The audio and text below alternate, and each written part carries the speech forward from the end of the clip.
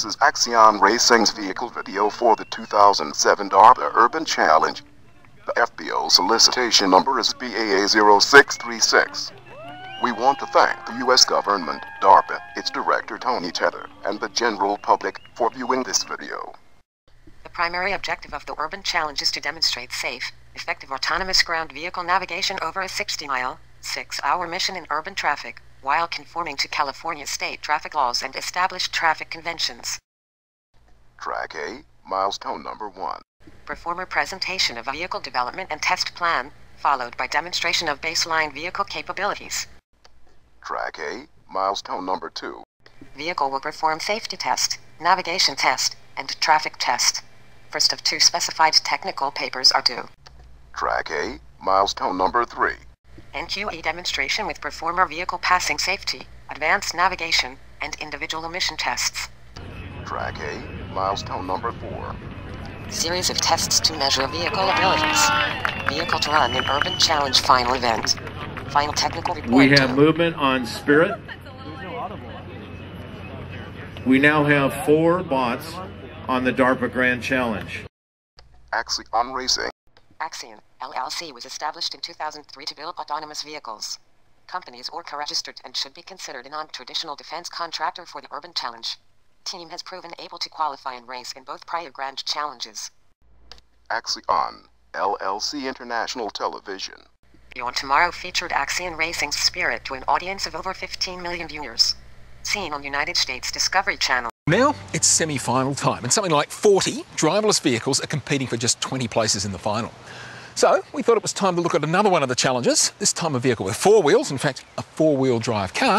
And the word is, it's got a very good chance of pulling off that $2 million prize money. Meet Team Axion and their driverless Jeep Cherokee, Spirit. The team reckons they have enough bells and whistles on board Spirit to complete the course and make DARPA sit up and take notice.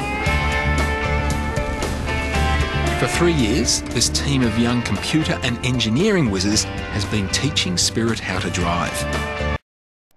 Axion's 2040 GC history. Spirit, the team's autonomous vehicle, suffered from a race day failure of its GPS INS unit. Lessons learned from 2004. Team purchased a Northrop Grumman LN270 INS and now uses dual Navcom GPS units. Axion's 2005 DGC history. Spirit ran 67 miles on race day, but suffered a left wheel alignment failure. Lessons learned from 2005. Team field tested too hard on its race day autonomous vehicle. BAA 0636 allows for stronger team beta and race day vehicles. Axion's 2007 UGC sensors. Stereo vision cameras, Intrigue LiDAR and 3D cameras, Navcom GPS and NGLN 270, RGB cameras, SICK LiDAR, Velodyne 3D LiDAR, Waveband MMW radar, sound monitoring, Axion Racing's RSE. In the 2005 Grand Challenge, Axion Racing was the only team to use multiple stereo cameras. Enhancements coded for 2007. Since 2005, Axion and Intrigue Technologies have worked on firmware for brightening shadows and negative obstacles. Dual Navcom GPS units and a Northrop Grumman LN270 handle weak or no GPS signal the best INS at the 2005 NQE. Axion will be utilizing an upgraded RGB camera from the vendor who provided a turnkey system to the 2005 DGC winner. Axion Racing will be incorporating vendor-enhanced SICK LiDAR into both beta and production race vehicles. The Velodyne 3D LiDAR unit reports to be an excellent autonomous vehicle tool. Axion Arbitrator will use this with other sensors. Looking ahead to future DARPA needs, Axion is considering the Waveband MMW radar. 360 degree microphones allow for excellent sound monitoring. Axion's field testing has proven a need for useful sound inputs.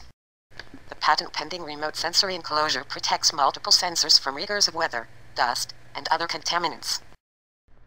Axion Racing's plan. The team's 2006 2007 project plan, budget, hardware, and software technology is detailed in the proposal presented to DARPA for the review.